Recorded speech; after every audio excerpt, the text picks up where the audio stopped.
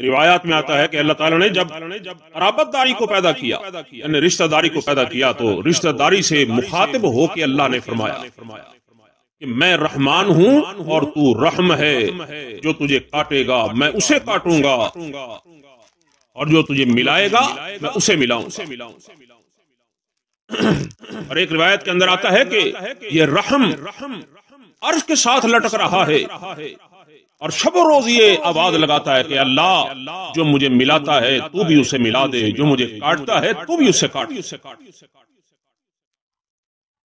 हज़रत फकी अबुल्लै समरकंदी ताला ने एक वाक्य लिखा है। हज़रत यहिया बिन सुलैम रहमहुल्लाह ताला के हवाले से। अल्लाह अकबर अल्लाह वो फरमाते हैं कि हमारे पास मक्का में एक खुरासान का आदमी रहा करता था। बड़ा ही नेक आदमी था। लोग उसके पास अपनी अमानतें रख कर जाया करते थे। बहुत ईमानदार और नेक आदमी तो एक आदमी कहता है कि मैं जब सफ़र पे जाने लगा तो मैंने उसके पास दस हज़ार दिनार बतौर अमानत रखे और खुद चला गया सफ़र पर। जब सफ़र से वापसी आया तो मुझे मैं अमानत लेने के लिए गया तो पता चला कि वो तो खुरासानी का इंतकाल हो गया है। मैंने उसके खानदान वालों से पूछा, उसकी औलाद से पूछा कि भाई मैंने दस हज़ार दिनार रखे थे। उन्होंने कहा जो जो अमानतें हमारे पास सामने थी, वो हमने उनको लौटा दी हैं। दस हज़ार दिनार की कोई अमानत हमारे पास नहीं रखी वो बड़ा परेशान हुआ। वो फरमाते हैं कि मैंने मक्का के जितने मुफ्ती थे, उन मुफ्तियों के पास में गया।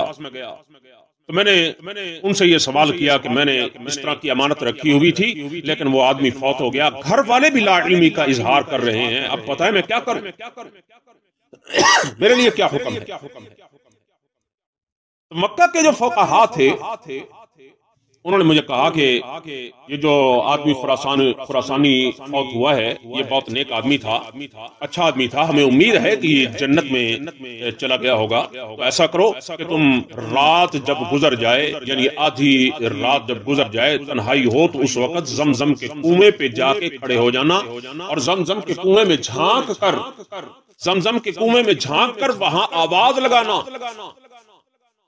और उसे कहना कहना क्या है फला बिन फला? मैंने जो दस हज़ार दिनार की अमानत तेरे पास रखवाई थी, मैं उस अमानत का मालिक आया खड़ा हूँ। मुझे बता मेरी अमानत कहाँ है? तेरे घर वाले तो लाइल का इजहार कर रहे तो वो फरमाते हैं कि मैंने तीन रात तक ये अमल किया।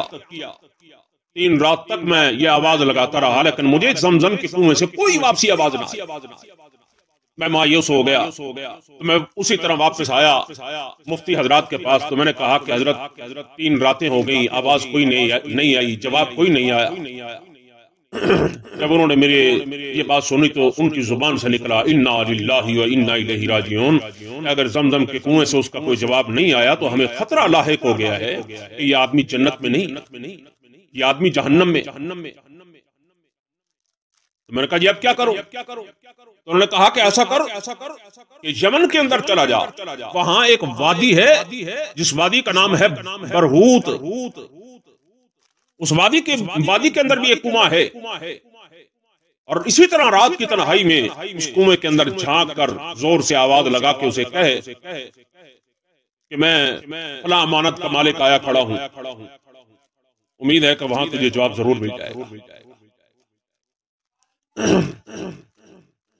तो ये कहते हैं कहते मैं यमन चला गया चला गया और कुएँ के ऊपर मैंने खड़े होकर आवाज़ दी। आवाज़ दी क्या है? फला बिन फला। मैंने जो दस हज़ार की अमानत तेरे पास रखवाई थी, मैं उसी अमानत का मालिक आया खड़ा तो ये शख्स कहता है कि जब मैंने ये आवाज़ लगाई तो पहली आवाज़ पर ही वो बोल पड़ा बोल पड़ा। जब उसकी आवाज़ आई तो यकदम में चौंका। मैंने कहा, अल्लाह तेरा भला करे। तू तो बड़ा नेक आदमी था, यहाँ कैसे पहुँच गया? तू साहिब खैर था, नेक आदमी था, भला आदमी था, ईमानदार था, अमानतदार था। यहाँ कैसे पहुँचा?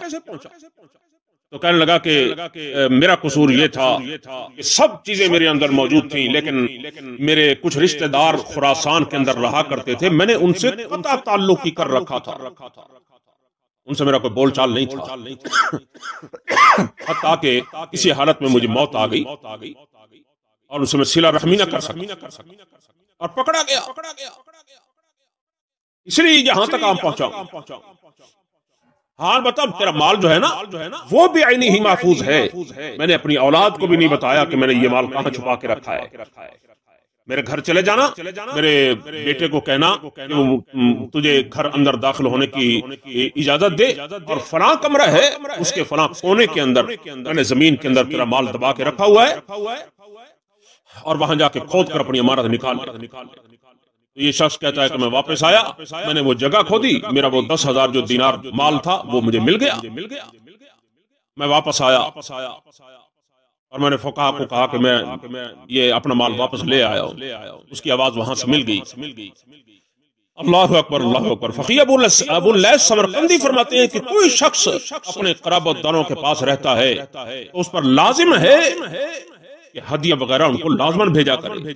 अगर हदिये की वो ताकत नहीं रखता तो कम अज कम मुलाकात के लिए ज़रूर जाया करे। माल की हिम्मत नहीं है तो मुलाकात ज़रूर करे ज़रूर करे।